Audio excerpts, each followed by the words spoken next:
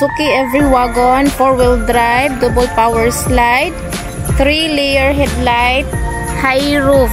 Ang kulay niya ay candy tone red. Isiship din natin ito kasabay nung gray.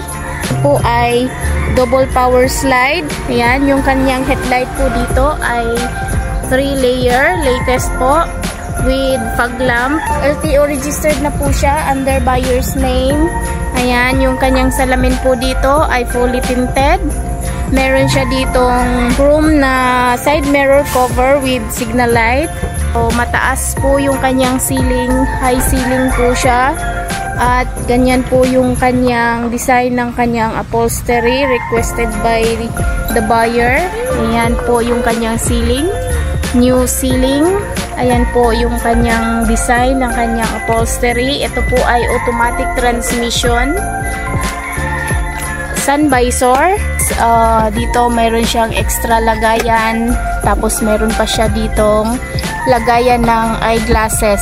Paandar rin natin para marinig nyo yung andar niya.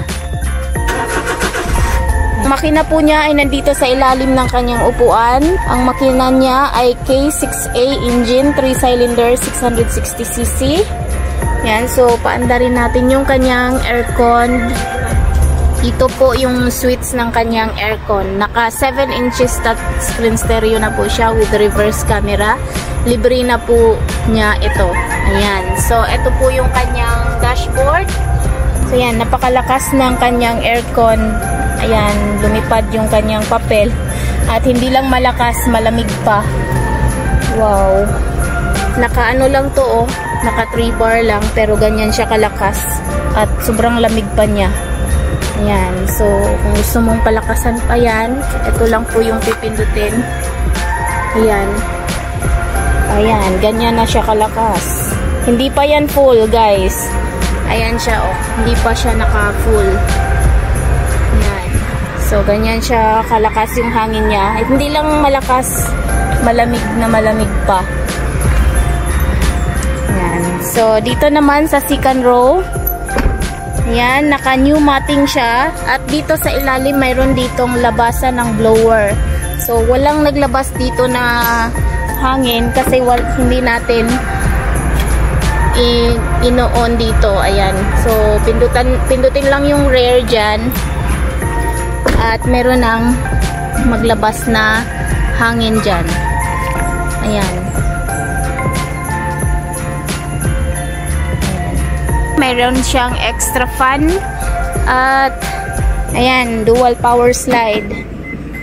Automatic slide siya. Ayan, with rain visor na.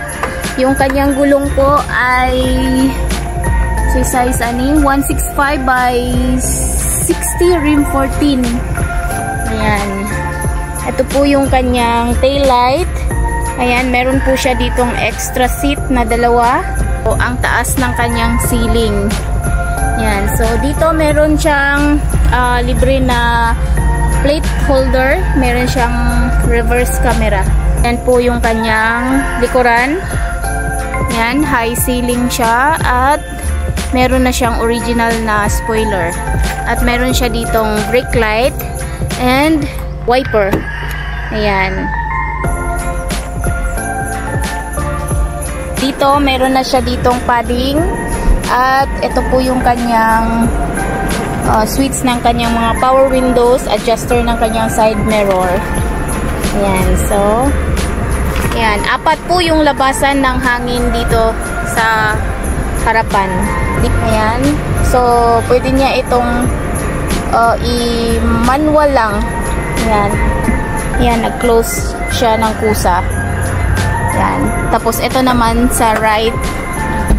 Ayan. Pwede yan. Mag-open yan kahit hindi mo, ano, dito mo lang pindutin. Yung takbo po niya ay 125,845. Yan, napakalakas po ng kanyang aircon. So, ang inabot po ng price niya ay 301,500 pesos.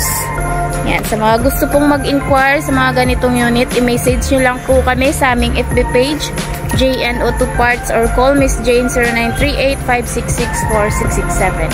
Maraming salamat po, Amping Kanunan!